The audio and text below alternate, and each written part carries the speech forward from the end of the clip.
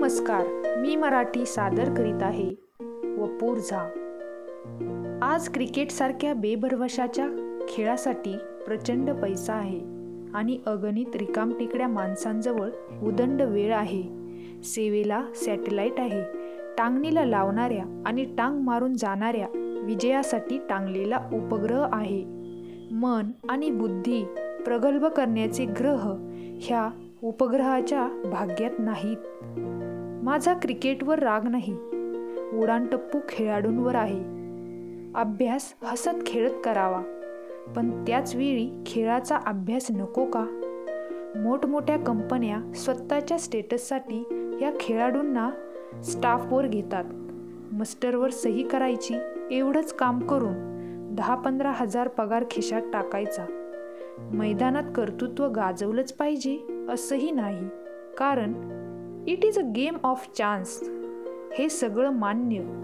पण हा खेळ फक्त बावीस भिडू आणि दोन अंपायर अशा चोवीस माणसातच झाला. तर मॅचेस होतील का? खेळायचं ते कुणासाठी? हा प्रश्न त्यांनाही पडेल. आपणही त्या बेभरवशाच्या डावात रंगतो. फटकारा मारल्यावर सिक्सर ठरली तर बॅट्समन ग्रेट कुणी कॅच पकडला तर तो उतावीळपणा. हे साध्या खेळाबद्दल.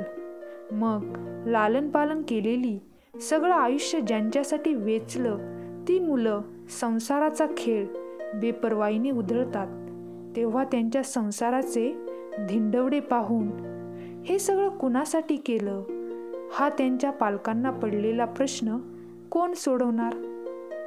एका क्षणामध्ये पत्नीची आई होते.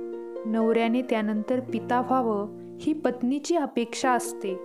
पण तसं घडत नाही. याचं कारण दिवस गेल्यापासून दिवस पूर्ण होईपर्यंत पत्नीने मातृत्वाचा छोटा कोर्स केलेला असतो. एकच विद्यार्थी असलेला वर्ग तिने नऊ महिने सांभाळलेला असतो.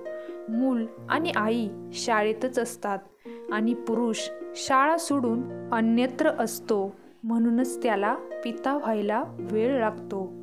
त्यात शाळेला कायमचा कंटाळलेला नवरा वाट्याला आला तर संसारामध्ये तो बिनखात्याचा मंत्री असतो. धन्यवाद.